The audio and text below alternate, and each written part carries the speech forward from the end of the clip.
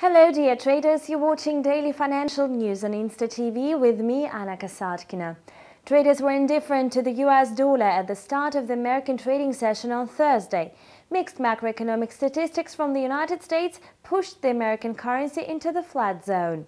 Thus, the official report showed that the number of new building permits in the United States came in at 1,311,000, exceeding the market expectations. Moreover, this number increased from the previous reporting period.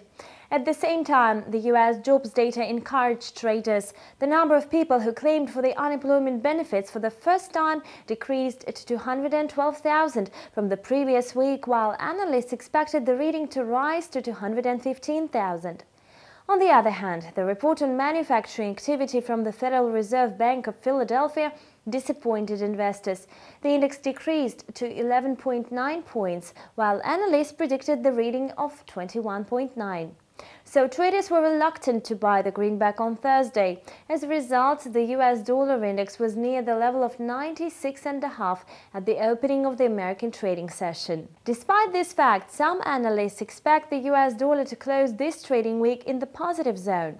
That is all for today. Subscribe to our channel and keep abreast of the currency market news. We wish you profitable trading. See you back soon.